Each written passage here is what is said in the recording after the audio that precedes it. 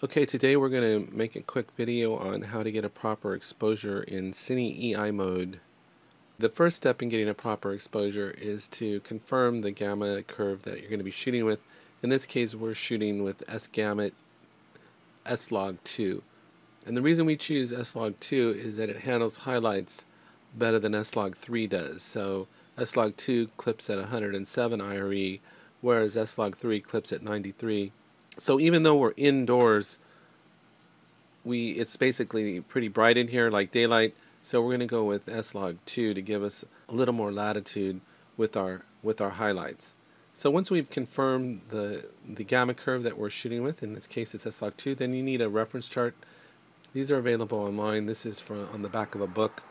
And so we can see that S-Log 2 for the better improved signal to noise ratio, we want a 90% white card at 74, 74 IRE. And that's about a stop and a half above what Sony recommends. But it has been shown that because S-Log has so much dynamic range, you can overexpose and still have headroom to spare or exposure latitude. This chart is actually from the book The Quick Start and Basic Reference for the Sony FS7. So the first step was confirm our gamma curve the second part is to confirm what a proper our proper exposure level will be for 90% white card.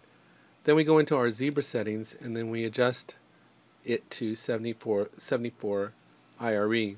And then we can adjust our aperture to right now it's at 3 but you know just for the sake of simplicity I'll, I'll set it to 4. And then that means that anywhere between 72 and 76 IRE zebras will start appearing on the 90% white card. So you do need a 90% white card to do this. You can use a piece of uh, white paper if you're in a jam. And then you want to go into video and you want to make sure to turn off the monitor LUTs. The zebras will assess whatever's on the monitor and we so we don't want to be assessing the monitor LUT, we want to be assessing the S-Log footage. So that's what we're trying to get a picture of, uh, footage of, and then we put our white card in front of it. And now all we got to do is adjust our iris until we see zebras on the 90% white card.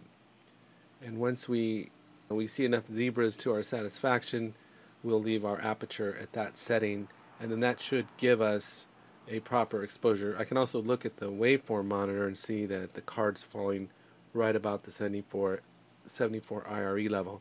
So that's good.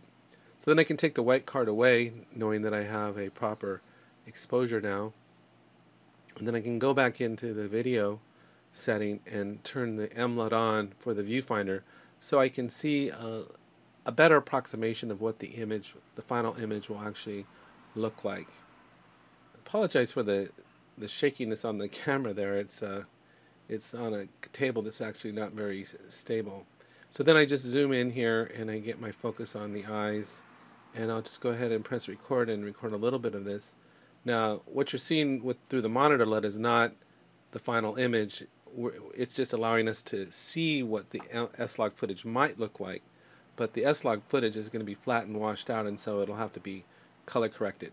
So once I'm done recording this footage, I'm going to pull it into my software and apply a LUT and do a little correction, and that's what you're looking at here. This is the final image that's been uh, had a LUT applied and been slightly color corrected. And so I think it looks pretty good. I think it looks properly exposed. So it's really not that difficult. You just got to make sure that you have the right gamma curve and then the right IRE level for that gamma curve. And then it's really pretty straightforward. So thank you very much for watching and I hope you have a great day. Take care.